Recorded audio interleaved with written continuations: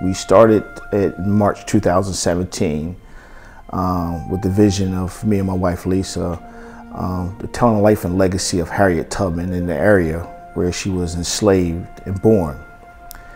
So once I found that information out, um, we structured a tour um, in that avenue with half day, full day itineraries.